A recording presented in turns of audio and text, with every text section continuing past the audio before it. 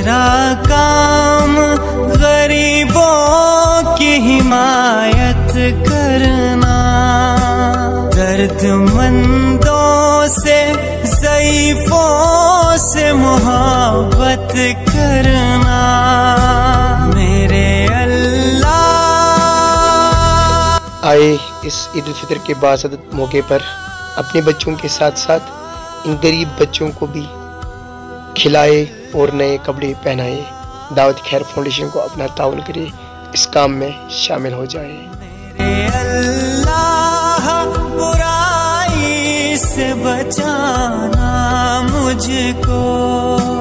नेक जो राह हो उस रह पे चलाना मुझको। तो आए दावत खैर फाउंडेशन के साथ अपने हाथ बढ़ाए सदकात और ज़क़़त डोनेट करें। अल्लाम वरहमल